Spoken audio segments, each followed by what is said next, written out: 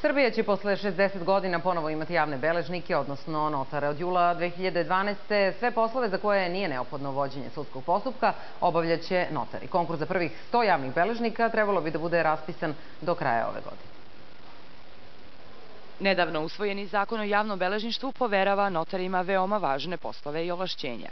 Tako ćete, ukoliko vam treba overa testamenta, izjave, potpisa ili ugovora, umesto u sud ići u notarsku kancelariju.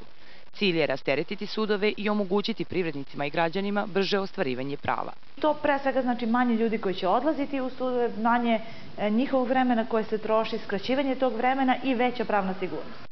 Privrednici raširenih ruku dočekuju primjenu zakona o notarima, jer je u poslovnom svetu vreme najdragocenije, a oni su vreme do sada bespotrebno rasipali na razne birokratske procedure. Najveći zaostatak u tim zapravo uslugama je upravo u nekvalitetnoj birokratiji.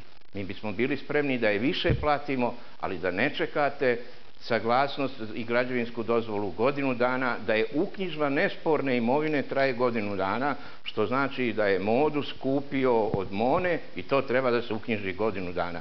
Javni beležnici će imati svoje kancelarije i pečate i neće smeti da se bave političkom aktivnošću. Predviđeno je da na svakih 25.000 stanovnika dođe jedno javno beležničko mesto. A da biste postali notar, morate biti diplomirani pravnik sa položenim pravosudnim i notarskim ispitom, za koji se još uvek ne zna kako će izgledati. Ne zna se ni kolike će im biti plate, ali recimo u Bosni i Hercegovini notari zarade oko 5.000 evra mesečno. Tanja Krstonijević, televizija Pink.